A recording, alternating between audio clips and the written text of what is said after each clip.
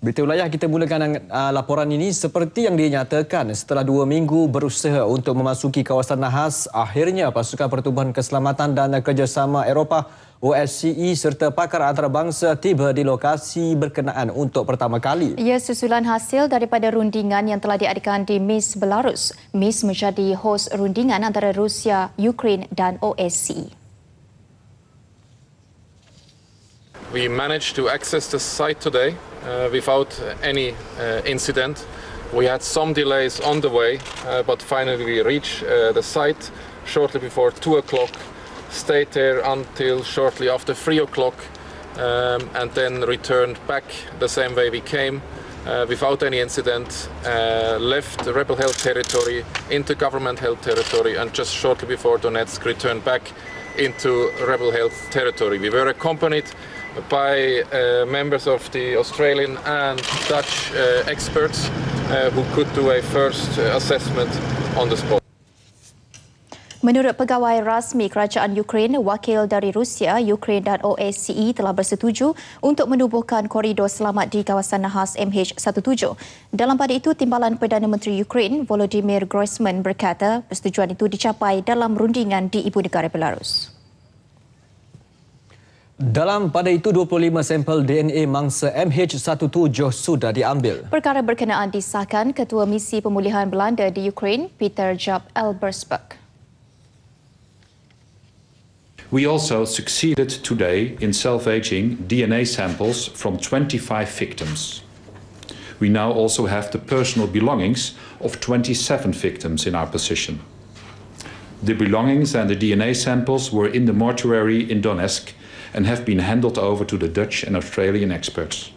We are planning to bring these belongings and the DNA samples from Donetsk to Kharkiv tomorrow. There, the first forensic check will be performed.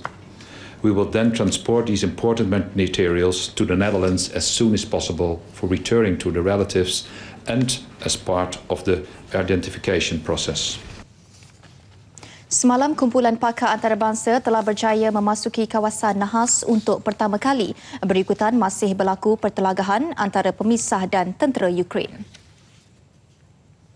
Pemimpin pembangkang perlu mencontohi kepimpinan Perdana Menteri Datuk Seri Najib Tun Razak dalam menyelesaikan kemelut yang berlaku dengan pesawat MAS MH17 dan tidak hanya tahu berpolitik semata-mata. Presiden Gerakan Datuk Mas Yew Kiong berkata di saat negara menghadapi situasi yang cukup getir dengan pelbagai musibah yang melanda, semua pihak termasuk pembangkang perlu memberi sokongan padu kepada Perdana Menteri.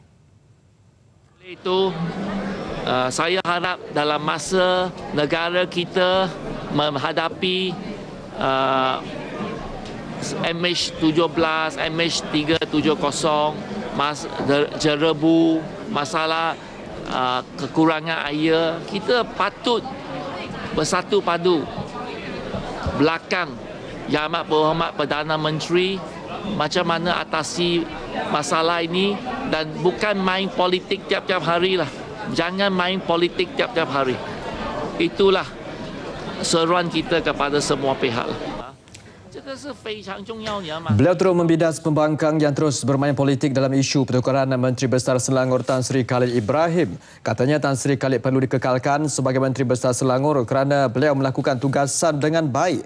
Ia termasuk pembinaan loji rawatan air Langat 2 yang dicadangkan Kerajaan Persekutuan dan telah dipersetujui Tan Sri Khalid. Tarikh bila mayat mangsa tragedi MH17 warga Malaysia akan dibawa pulang ke tanah air akan terjawab dua minggu lagi. Menurut Perdana Menteri Datuk Seri Najib Tun Razak, proses pengecaman identiti mangsa DVI yang rumit membabitkan proses mengenal pasti mayat dan bukti berlaku perbuatan jenayah yang berjalan serentak akan dapat diselesaikan dalam tempoh berkenaan. DVI itu sendiri iaitu Disaster uh, Victim Investigation dan mengenal pasti khususnya identiti uh, mangsa. Uh, yang kedua ialah uh, dari segi uh, uh, tindakan untuk uh, mengenal pasti apa juga uh, evidence bukti yang uh, boleh dikaitkan uh, dengan uh, jenayah yang telah dilakukan. Maknanya uh, satu uh, victim identification, satu lagi uh, criminal investigation. Jadi oleh kerana kedua-dua uh, perlu dilakukan uh, secara serentak, maka proses ni uh, akan makan masa uh, lebih lama uh, kerana ia uh, uh, Tarikh tepat akan diumumkan dan hari ketibaan kesemua mayat atau jenazah mangsa warga Malaysia ke tanah air akan diumumkan sebagai hari berkabung untuk seluruh negara sebagai penghormatan kepada mangsa dan tragedi malang yang menimpa pesawat MAS itu. Menurut Datuk Seri Najib, 126 keranda daripada 226 telah dibuka dan menjalani proses DVI. Ia melibatkan 200 pakar antarabangsa termasuk 24 dari Malaysia ataupun tiga peringkat. Satu yang dikatakan anti-mortem. Kedua uh, post-mortem. Dan ketiga reconciliation.